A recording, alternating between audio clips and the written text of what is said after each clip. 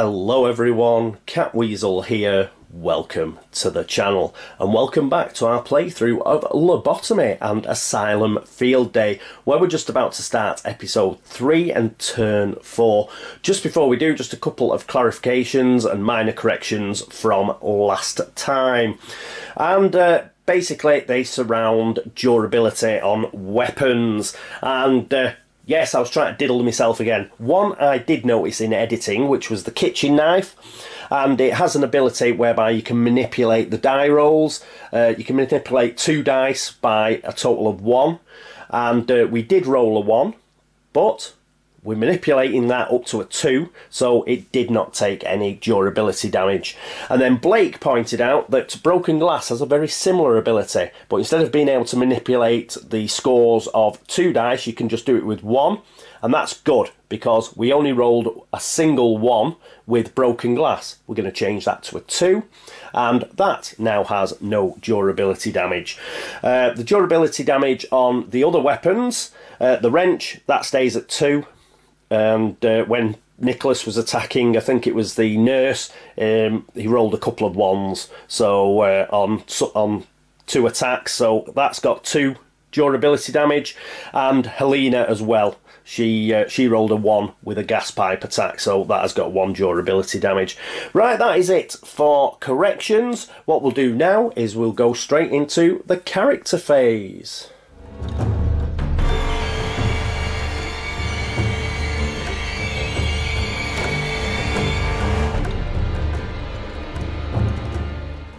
And here we are at the character phase, and we're still with the characters because we're going to do our cooldowns first. And uh, as I mentioned, I'm going to do all the cooldowns for all the characters right at the beginning because then I won't forget.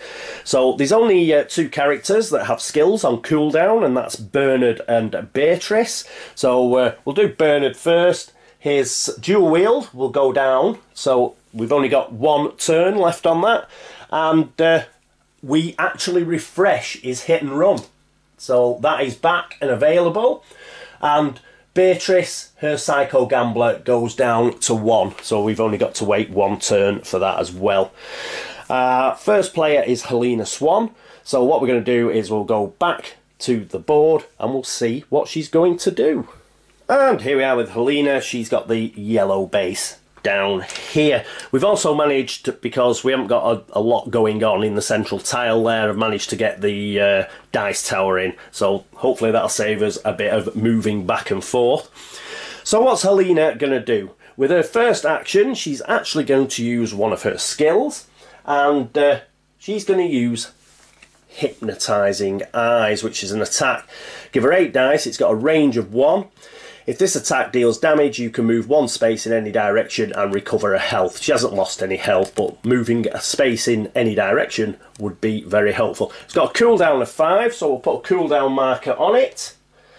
And what are we going to attack? Well, obviously we're going to be attacking that scavenger that is just up there in the next space. There he is. Want to get rid of him before he gets in amongst us and starts attacking.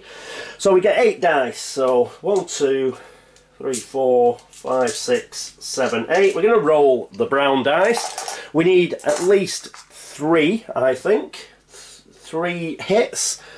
Yes, we do. We need three hits, and we're not going to lose any to defence because it's a scavenger and we hit on a four or better.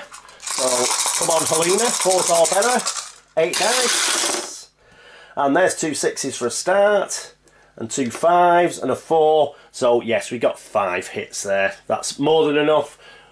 We get one of our progress points back, so we're back to one progress point. We'll put the scavenger across here with his mates, and because we killed it, we can move that cooldown one so hypnotizing eyes is now on four, down from five. So that's that's a good start. Okay, and yes, she could recover health if she'd lost any. She hasn't, but we can also move as per that ability. So she's just going to move one there to the space that the scavenger was in. And for her final two action points, she's going to move again. So she's going to go one, two, up here into space seven. She's just outside the guard room up there. which has got a locker in it and uh, she's also next to space 6 which has a memory token in, in, in, it so hopefully we'll be able to pick that up okay that is it for Helena next up it is Bernard so let's uh, let's focus in on Bernard and here we are with Bernard. Bernard's got the green base there. And uh, let's get rid of all these. Get rid of those. We may be using them again in a moment, but we shall see. So we'll get rid of those. And what's the first action he's going to do? Remember, he's got four actions. Well, what he's going to do is he's going to take a look at this memory token here. So for an action point, he's going to pick that up. So that is another progress point. We've picked up a memory. We'll get his memory deck from just over here. And then we've got to find out what memory he has regained. There are five that are generic to everybody. And there is also five that are specific to him. We'll do a cut. Let's see what we get. Oh, it's a Bernard memory. If there was a Nobel Prize for lying, I would win it. Or at least I would tell everyone I did. Nice one, Bernard. I like it. I see what you did there. Been there, done that. Skill permanent, cost none. Ooh. Gain a free additional success in every locker searching and door opening test. So that is excellent. So we'll put this over here. So that is like having an extra ability. And uh, not only that, it doesn't cost anything, it don't cost uh, an action point, nothing like that. So that is cool. Gain a free additional success in every locker searching and every door opening. Fantastic. So that's going to be really useful. Just put this back. And yes, nice find for Bernard. That's his first action point. He's got three left. So I think he is going to do some attacking as well he's going to move one into here with this mental patient. And he's got two um, action points left, so he is going to attack. Now, he can't use dual wield, and uh, we don't need to use hit and run, I don't think. So we'll just uh, we'll just attack. I think we'll attack with the broken glass because it gives us five dice rather than four and uh, he hits on a 5 plus. So one, two, three, four, five.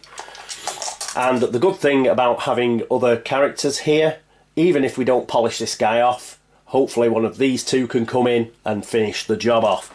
So come on Bernard, you don't want to rely on everybody else. Fives or sixes please. He gets one five, he gets one six. He gets a one. Now we've got a we've got a bit of an option here. Like there are two ones, unfortunately. So even if we use the broken glass ability on these on one of these ones, we're still going to get a durability loss. Yeah. So we're not going to use it on those ones. We're going to use it on that four. So we're going to get two fives and a six. So that's three hits. Let's have a look at the mental patient card. Now he has one defense, so we're going to lose one of those, but we are going to get two hits on the mental patient. So two hits go onto the mental patient, we'll just pop those there. And we have got to pop a durability loss on the broken glass, unfortunately and we'll get rid of those two ones and we'll pick two other dice because for his final action he's going to attack with the broken glass again. So come on Bernard. He gets a six and two fours. He does roll a one again and uh, we are going to use it this time. So it's only going to be one hit and unfortunately that one hit is going to get stopped by this guy's defense so unfortunately we weren't able to take him out because we've got two other characters sort of following in Bernard's wake what we're going to do is um, We one really, one really, because I don't think Nicholas can make it that far, but Beatrice can, and I think she'll be able to polish it off. So we'll just leave it at that. Okay, so that was it for Bernard's go. At least he got two hits on that mental patient. Next up, it is going to be Beatrice. And here we are with Beatrice. So for his first two action points, she's going to go one, two, and she's going to join Bernard in uh, that space with the mental patient. And for a final action point, she's going to attack. She's going to use the club. So that's going to give her five dice. And we may lose a durability to this to add one die even after the attack roll. So we'll keep that in our pocket. She does hit on a 3 plus. So hopefully we won't even need that. So we're going to be rolling five dice. Roll five of the green, seeing as uh, the blue went. I've gone a bit cold on as the blue, not the blue, the brown. So uh, five dice, threes are better. Well, we've got a couple of fives already. We've got a six there. We've got a four there. We do have a one, unfortunately. So uh, we are going to lose a durability of the club. But we do have more than enough to actually kill the mental patient, lose the low, we'll lose the lowest there due to his uh, defense, but we still get three hits. So that is more than enough because he only had two health left. We get rid of the mental patient, yet another progress point. So we're up to three progress points. Remember, if we get a blue star during the movement phase, then we'll lose all of those progress points because this is such a nice, easy game. Now, because Beatrice actually killed that monster, it means that her Psycho Gambler ability is now totally refreshed. It was on one, it's now completely refreshed. She has all her skills back, which is good news. Okay, that is it for Beatrice. Next up, it's our final player for this round. It is Nicholas Jackson. And here we are with Nicholas. And I think what Nicholas is going to do is he is going to run. Yeah. So that will give him two extra action points and all he can do is move. So he's got five movement essentially. And uh, what he's going to do is he's going to go one, two, three, four, five. He is heading for that locker there. And uh, just to have a look what we're looking at here, we've got a locker here, two doors to get to it. We'll have a look, see if we can get to it, but you know, that's wasting a bit of time. There is a locker here behind another door and uh, a locker here in the guard room. We've got that memory token, which hopefully, hopefully Helena will pick up next turn, and we do have a memory token here. So hopefully we'll at least get those two memory tokens next round. Yeah, and uh, possibly be able to search this here. So that'll be good. That would be excellent for us. And uh, other than that, I don't think there's anything else. It's uh, straight into the monster phase.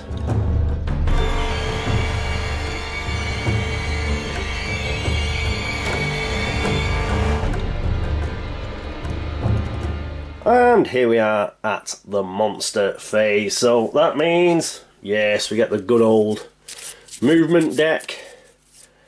And it's quick shuffle and a cut. See what happens. And that is a green. Thank God. So anyway, compelling power. Characters can use one insanity to gain one defense for this turn or plus one to attack rolls for the next turn. We won't bother, thank you very much. And uh, yes, we have got the green star. We lose one progress. What we're going to lose is, uh, again, we're going to lose the scavenger.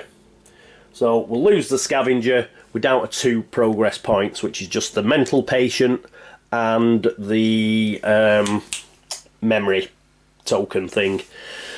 Okay, we've got no memory shrine coming up and we have got no warden movement, which is good news. We will have a spawn of a mental patient and a scavenger, but that is after monster movement. I'll just put that down there. I'll do the monster movement, I'll be back in a moment. there is going to be a slight change, so I'll talk you through it because it's basically because Nicholas has gone there, so he, has gone a lot nearer to uh, some of the monsters over here. Okay, I'll do the monster movement back in a moment. Okay, I'm back. So, the monster movement. Yes, a lot of these guys have been affected because Nicholas has actually got a bit closer now. So, the nurse that was coming down this way, she's actually backtracked because she'll be able to ooze through this door, then ooze through that door and get to Nicholas. That is the quickest way for her now. The mental patient carried on. He moved one here. That's because it's as broad as long. It take him just as long to go around this way than it will this way, so he's just carried on. This um, scavenger here, he was going this way, remember, but he now he now knows he can sense that Nick's there, so he's gone up this corridor here and he's getting ready to ooze through that door. Remember my house rule, once it once these guys, these basic monsters ooze through non-revealed doors, they can't do anything. Yeah, so that's an important house rule to remember. Uh, what else? Uh, this particular uh, scavenger here, he's carried on going this way because again, going round that way to Nick, it's just as far to go and get these guys. So he's going to carry on. He went 1-2 to here. This mental patient that was here, he's gone to the central tile. He's going to go up there. This scavenger that was down here, he's moved up there. The mental patient that was here has moved to here. And the um, nurse that was there has moved to here because she's got to go here before she can go through the door. And then they're going to head up this way as well. And there was one more nurse she was uh, outside here, but now she's oozed through the door because it's quicker for her to get up this way. Again, oozing through the door doesn't actually, the house rule doesn't really kick in because all of those that have just oozed through doors now, they're not attacking. So uh, it's just like normal movement really. Okay, but they are exhausted as per my house rule. Okay, so that is the movement. And now we need to roll for the mental patient and the scavenger. So mental patient first. Um, I'll move this here, just you might be able to see it better. You couldn't really see what I rolled last time. But um, yes, so we need the D12 and the D4. And the mental patient is going to... It is, that's an A. That is A5. Actually, I'll zoom in a bit so you can see it. Won't be a second. Ah, can you see that? That's A5. So we'll take Mr. Mental Patient, we'll put him on A5, which is a little room off to the side that you just can't quite see, but he's behind a door, which is helpful. And then we're going to roll for the scavenger. And where's the scavenger going to end up? D11 is where the scavenger is going to oh, knock that over. D11 so the scavenger is down here and uh, oh he's in that room the original scavenger was in over there on on the uh, on the D tile but uh, yes so those are our two monsters but uh, from what I recall we killed two monsters this turn as well we killed a mental patient and a scavenger so uh, we're keeping a lid on the monsters they haven't increased so that is good Okay, so that is it for this round. I think it was, what was it, round four. So let's go to the character phase of round five.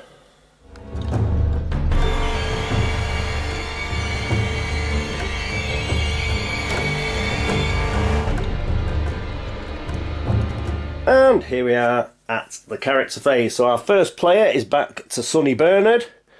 So we'll pop the token back up here. And yes, cooldowns. Let's sort all the cooldowns out. So Helena, she goes, her hypnotizing gaze goes down to three. And Bernard gets his dual wield back, which is great, just in case we get swamped by a load of monsters. So everybody has got all of their skills apart from Helena, who still has hypnotising eyes. On the durability front, Broken Glass has took a durability damage, the club has took a durability da damage, and the wrench and the gas pipe have stayed at the damage they already had. Okay, first player, Bernard. Let's go back to the board, see what he's going to do. And here we are with Bernard. Unfortunately, Bernard has got four actions because he's going to have to use them all to get to this memory uh, token here. So he's going to go one into here, two into there, three into there, and he's going to use his fourth action point to pick up another of these memory tokens. So we've got picked up two of those now. We get another progress point. So we're back to three. And uh, we've got to get his memory deck again, won't be a moment. Because he gets an opportunity to pull a memory out. So we'll do another quick shuffle and a cut.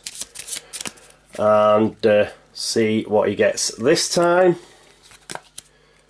And this is one of the generic ones, Memory Strip 2. Your childhood friend sits in the hallway waiting to meet you. His smile fades as you approach. What have they done to you? He looks around to see if you are alone, then puts his arms around you. Let me help, he whispers, while constricting you harder. You struggle to take a breath. Soon you will be free. So we've got to do an imagination test, and if we lose, we lose an insanity.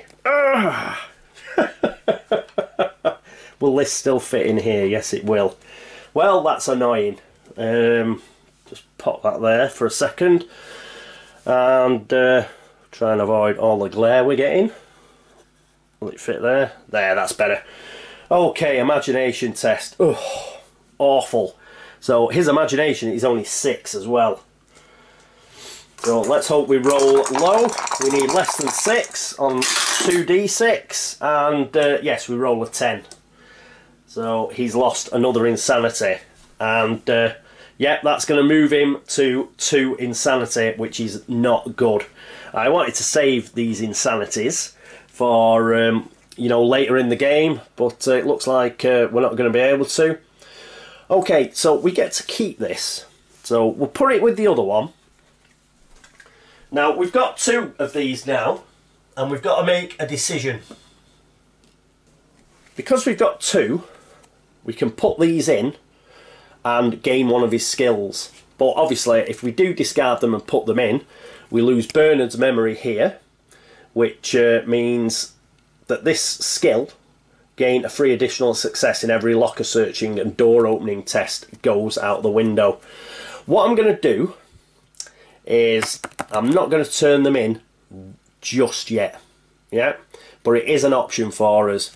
I like to keep this Bernard memory and um, its permanent skill that we've got here for the time being. We may pick up another memory, in which case uh, we could keep the Bernard memory and get rid of memory strip uh, 2 and whatever else we get. Or it may not, it may no longer be, you know, really helpful to have this permanent skill and we can just hand these two in yeah? But for the moment we're not going to hand them in for an extra skill. We'll keep those off to one side. So he's got two there. That is it for Bernard because that took him all four of his action points and he has now finished so who is after Bernard after Bernard it will be Beatrice and here we are with Beatrice she's going to move one and then she's going to take a look at this door here. So we'll get the door bag, give it a shake, and we'll pick one out. And it is, yes, it's open. I nearly put that back in. Don't put it back in, Paul, because the door is open. So it stays out of the bag. And we get rid of that door. So now we're free to walk into here which is, is cool. But we've still got another door there. Yep, so uh, do I go further into that room?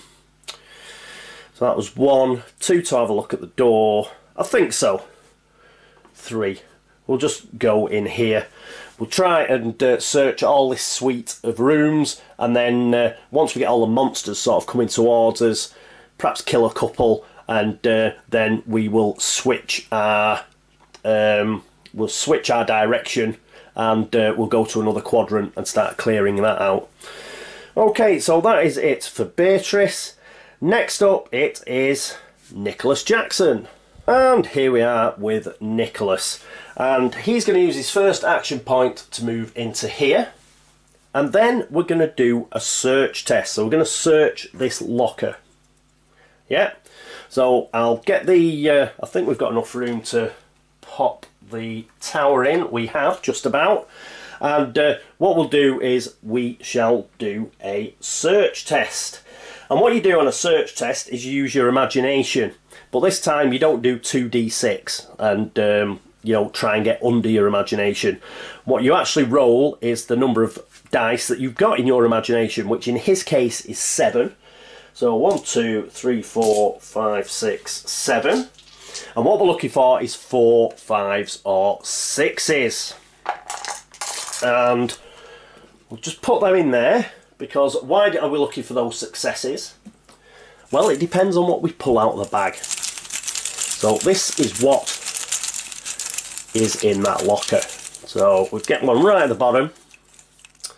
And it was a set of filing cabinets. And what was in them? Well, here we go. Oh, this is bad. See how high all of those are? So in order to find anything in there, we have to at least roll four successes out of seven. So this is going to be tough. Um, some of these are a lot easier than others. The one good thing is we do not have a monster spawn icon. So even if we fail, we just fail. So we're looking for four successes at least. So uh, here is seven dice, four fives and sixes, uh, successes. Oh, we got three sixes, a five. We got five successes. There were just two threes there that didn't succeed. So we can pick any of these. So we can have a weapon, we can have equipment, or we can have meds. I think we will take the weapon. An interesting um, aside to this, if we'd, like say, if we'd had enough imagination and we'd rolled nine successes, we could have also, or, or, eight successes, we could have had a weapon and a med. If we'd rolled nine successes, we could have had uh, either a weapon and a med or an equipment. You can't get two, you can't double up on one. So if you get eight successes, you can't have two weapons. But uh, if you do get enough successes, you can get more than one thing. So that's pretty good. So uh, what I'll do is we'll discard that and that is now an empty place on the board. There was a, a set of filing cabinets there, but he's rifled through them and he's going to take a weapon. So we'll get the weapon deck. It's only because his wrench, his wrench is down to two, so uh, let's have a backup we weapon for him. We'll give it a quick shuffle and a cut. What do we get? He gets a fire extinguisher you know what? You shouldn't be keeping fire extinguishers in filing cabinets. They should be on the wall, easily accessible. I don't know. Right, anyway, fire extinguisher. It's uh, five dice, can be destroyed to, to use eight dice, and uh, obviously this symbol here, the snowflake symbol, it means it will frost uh, an opponent. So uh, they'll sort of freeze in place, on, and they've got to spend an action point to get rid of that. And it's large, so this takes up two of his um, inventory, but it's okay because he's only got the wrench and it's got five durability. So we'll pop that with him. That is another progress point, by the way. We have searched a locker and found something. So we're up to four progress points. We are getting there. So, uh, good stuff. Oh, oh no, we're back up to three, aren't we? I think we're back up to three because we lost one, didn't we? Yes, we uh, we got a green star last turn, so we're back up to three. Okay, so he's found a fire extinguisher. So he moved one, an action point for one. Now, he could have a look at that door, but he's not going to. The reason he's not going to have a look at the door is because it may be blank, and if it's blank, then that um, scavenger is just going to come straight through that door and attack him. But hang on, having a think here, having a think here.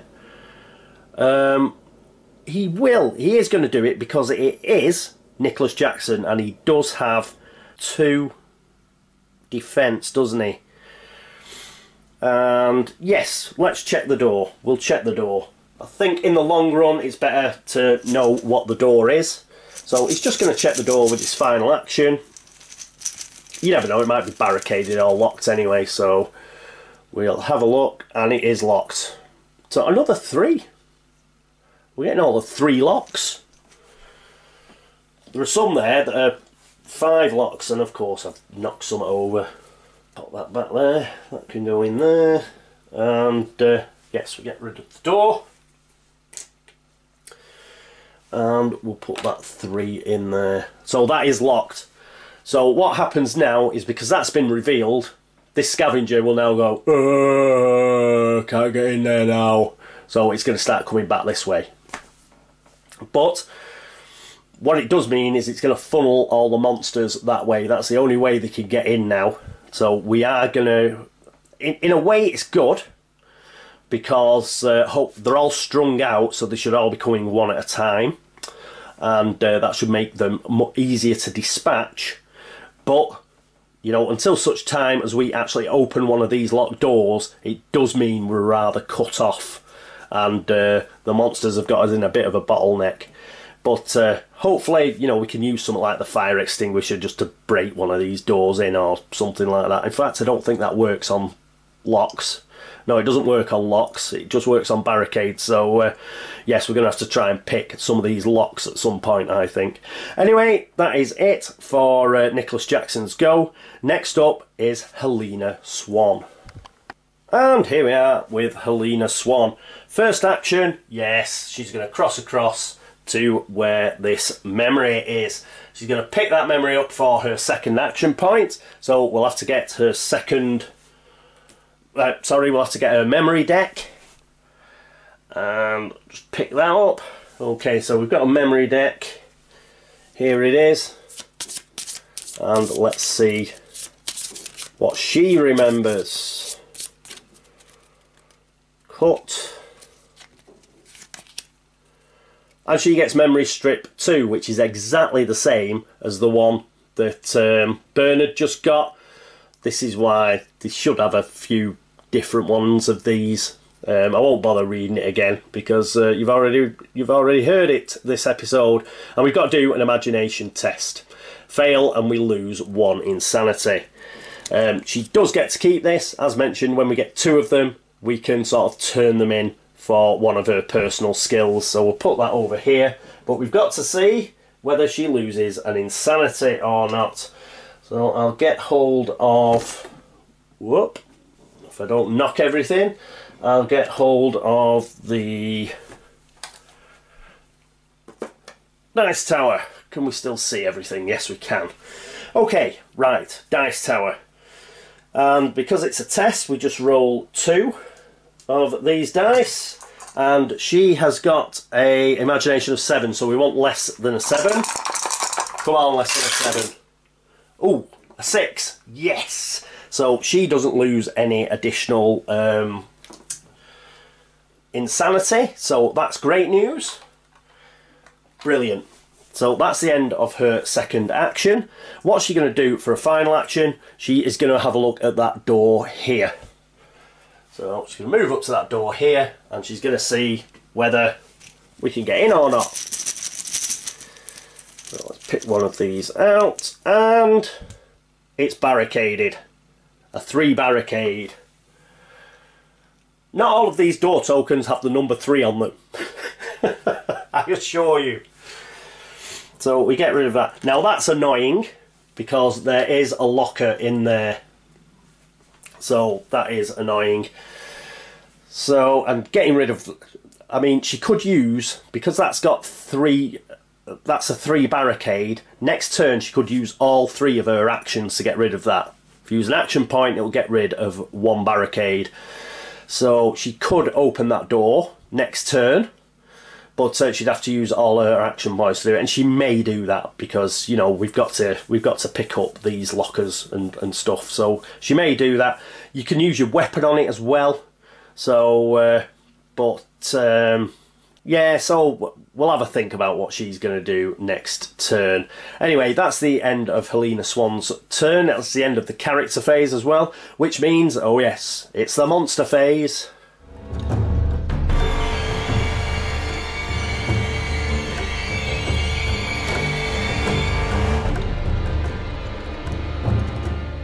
And here we are at the monster phase, movement deck. Crappy shuffle and a quick cut. And see where we're up to. And we get another green star. Damn it. Shattering Screech. We've had this before as well. Characters roll an imagination test. Fail, we lose insanity. We do have warden movement and uh, we do lose one of our progress. So I think we're down to two, are we? T three or two. Um, we'll know in the uh, when I do the editing and I'll flash it up. Right, okay. Ugh. Sick of getting them. Rolling, rolling, rolling, rolling. Okay, first player was Bernard. I have moved the first player token to Beatrice now, but uh, that's ready for next turn. So Bernard first. Imagination test. He's losing insanity. Hand over fist is that lad. He's already on two. He's already two steps towards being sane. So we need less than a six. We got a six. That is exactly it's equal or less than a 6. So he's fine. That's great news. We'll keep these. Hopefully they'll continue to roll crap. Uh, Beatrice next. She needs less than a 6. A 6 or lower as well. And a 5. Brilliant. She keeps her sanity. Her insanity, sorry. And then it's Nicholas. He needs a 7 or lower. Keep rolling low. And that's a 6. Yes! I like these dice. So he's fine as well. And finally, it's Helena. She's got seven imagination. So seven all on her. And a four. Oh, these lovely dice rolling low. I'm going to put you off one on side. And uh, brilliant. So we passed all of those. We didn't lose any insanity whatsoever. We've got movement of the warden. He moves across here to four. He's gone into the toilets. Over on... Uh, tile A. And then we've got monster movement and we'll get two mental patients. Okay. Right, we didn't actually kill anything last turn. So these are going to be two extra monsters. So you can't always kill things on your turn. So we're, we're going to have to put that right at some point and uh, try and kill some more monsters. But uh, before then, just going to go away for a moment. The monsters that we have got right now need to move. And I'm back. Who's what's moved where? Okay, mental patient that was in the room here. He's oozed through the door and he's now in the corridor. Uh, the mental patient here, ah, one I did forget, which is uh, the nurse. The nurse is going to move back this way because that door is now locked. Sorry, didn't see her at the top, so she's moved there. This mental patient's moved one, he's going this way because they've got to go the long way around now. This scavenger who was uh, trying this shortcut here, but the door turned out to be locked. He's moved two spaces back. This one's moved two spaces across. The mental patient that was on the pentacle, he's moved one. This guy, he's moved two, one, two. He's making his way that way. The nurse has oozed through this unrevealed door, and she's going to start making her way that way. The mental patient, he's moved next to the door to come out next turn. And uh, this nurse here, she's making her way to that door to come through. And she's going to go up that corridor. So this is one good thing about keeping all of your um, characters together. You do get a bit of a conga line going. So uh, that helps. If they all split out all over the board, what happens is you just tend to get one character with about three or four monsters around them in each quadrant, and uh, eventually, yes, they take you down. This way, we might last a little bit longer. We shall see. Okay, so that's the uh, movement sorted out. Now we've got to do the spawn, which is two mental patients. So have we got enough room to pop that in the middle there? And uh, we'll just zoom in on it. There we go, so you can see what I actually roll. D4 and the D12. First mental patient goes to, that's a 7, A7. So pick up a mental patient mini. And he goes to A7, which is here in the water tower at the top. Don't know if you can see that. Yeah, it's just out of shot up there. We'll roll for the second mental patient. Where is that going? That is going to C1. That seems to be a popular place to spawn. So that's here. and uh, in the warden's office. So those are the two spawns. Okay, not too bad, not too bad. And we'll get that out of the way. How has this episode gone? Um, okay, we have at least made some progress. We got knocked back by a couple of green stars, so we lost two progress, but uh, I think we've ended up with two or three um, actual progress, so that's good. Um, we managed to get a few memories, so that's excellent. Even though only one of them was an actual sort of skill, um, as I said, the others the you can sort of spend them for extra skills. So uh, so long as you actually pick up these memories, they're uh, eventually they do do you good, even if it's a bad one. And uh, we managed to look in a locker, so that was excellent as well. So uh, we managed to get ourselves a fire extinguisher. Hopefully that will turn up. that will do us some good at some point.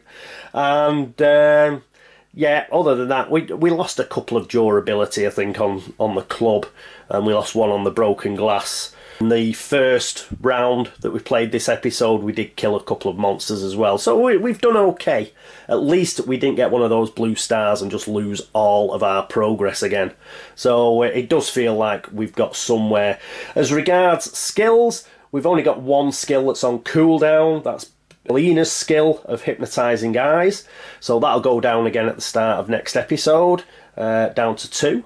Um, but everybody else is has got a free run at their skills, which will be excellent. And uh, I've just had a thought actually regarding skills. Somebody, oh it's oh it's Helena who's got shadow step. Helena's got shadow step. Let's just zoom out a bit. Out, not in. Helena's got shadow step, which means she can go through walls. So she may be able to get to that locker anyway. She just uses shadow step to get in there, searches the locker, and what's the cooldown on shadow step? The cooldown is five.